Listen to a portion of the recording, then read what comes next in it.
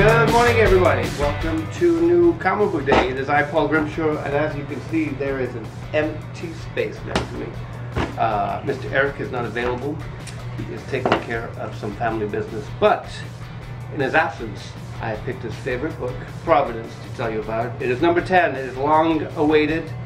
Um, Erik would tell you much about it. I myself, I'm not afflicted by the Avatar comic book uh, vice, uh, as is Erik, but uh, it is, I believe, still Mr. Alan Moore and uh, still Jacen Burrows. It is Avatar Comics. It is Providence number 10. It is slick, it is dense, and it is by Avatar Comics. And that is Mr. Erik Warfield's pick of the week. Now, on to my picks. This book here, Mr. Jonathan Hickman, and I believe this is a very old friend of the store, Tomm Coker. This is Black Monday Murders. Uh, unlike most Hickman stuff, it is super dense and he's got some kind of weird timeline kind of thingy going on here. Uh, I have yet to uh, give it a read, but I'm ready for some new Hickman. I'm hoping that this one will not be a three-year voyage like uh, many of the other Jonathan Hickman books. Fantastic Four in the back. Uh, it will be definitely taking home Strange uh, when I get this book done. Uh, a couple of other books. As always, The Vision, uh, Tom King, another uh, issue number 10, uh, which leaves only two more episodes of The Vision for me to love. Um, but I am going to increase my Vision reading by adding a Scarlet Witch to it. I, uh, there seems to be a little bit of cross-pollination with that. This is Tom King's, who's now exclusively at DC and is leaving Vision because of that. Uh, and it's great. It's great every single month. It's uh, very, very original, and I like it a lot. Uh, anybody that knows me knows that I love me some Eric Powell. Eric Powell back under his own Albatross imprint. This first issue of Hillbilly, I think I recommended here, was absolutely great.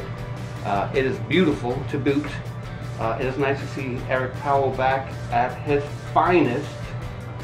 Uh, and I can't wait to get my hands on a little Hillbilly.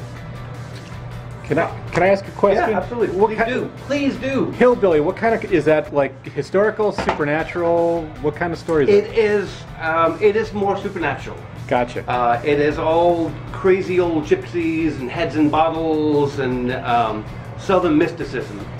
It's uh, it's really good. Very cool. It's really good. Uh, and uh, being an Eric Powell book, it has a great blend of dark humor and uh, dark magic. Right. Much in it. Um, and I have yet, I don't think we talked about The Fix. Um, uh, Nick Spencer and Steve Lieber's book uh, that I got. Someone, I remember maybe it was Amy or one of my customers recommended this book to me uh, a while ago. Said it was the best book they'd read in quite some time. So we finally got some, I think, third prints of number one and some second prints of number two. This is a second print of issue four. We've been selling out of this book. We haven't ordered a ton of this book. But I cannot recommend this book anymore. This is my favorite new book. I think the dialogue in it is absolutely amazing. Uh, two dirty cops trying to make money on the side, just doing the most lampoon-esque, just ridiculous capers to make money and stay out of their bookies, um, stay in their bookies' good graces. Uh, it's The Fix by uh, Nick Spencer and Steve Lieber, who uh, many of you may know from Superior Foes of Spider-Man, I believe the last book they did, which is also a very, very, very good book. Uh, this is much, much darker than Superior Foes, I can tell you that much. And um, I think we actually have issues, uh, early issues of this on the shelf, unless um, I rave about it a lot. This is the first time I've raved about it to y'all. The Fix with one X, not two like the band. Um, those are my reviews for the week. It is also a big week. We have uh, the new Scott Snyder Batman, All-Star Batman ships tomorrow, a plethora of Rebirth titles, and many, many more. Uh, thank you all for viewing.